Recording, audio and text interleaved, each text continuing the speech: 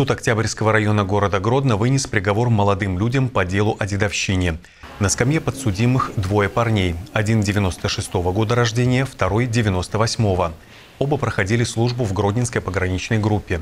Год назад, со слов заместителя начальника подразделения, командир роты заметил, что у подозреваемых, так значится в материалах дела, неуставные отношения между военнослужащими. Потерпевшего рядового из той же части заставляли отжиматься по 65 раз, выполнять не касающиеся службы приказы, избивали. Данные уголовные дела, они возбуждались непосредственно командиром части и были выявлены э, своими прямыми начальниками.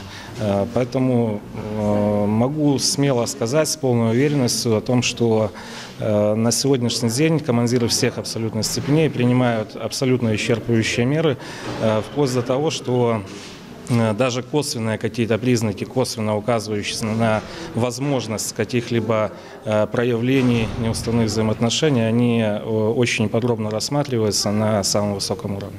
Один из обвиняемых носил звание ефрейтора, второй был рядовым. Оба закончили службу и уволены в запас.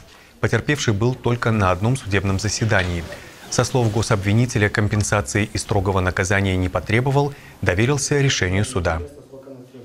Действия обвиняемых, носившие характер издевательств, подрывали сами устои воинской службы, войскового товарищества. Совершив подобные действия, нельзя говорить о том, что обвиняемые могли служить примером высокой культуры и нравственности, о чем давали присягу. Судом обвиняемые признаны виновными в совершении преступления. То есть окончательно им назначено наказание в виде одного года лишения свободы с отбываемым наказанием в исправительной колонии в условиях общего режима. Все время следствия и судебных заседаний подозреваемые находились под подпиской о невыезде. После оглашения приговора их задержали прямо в зале суда. Решение подсудимые еще могут обжаловать. На это у них есть 10 дней.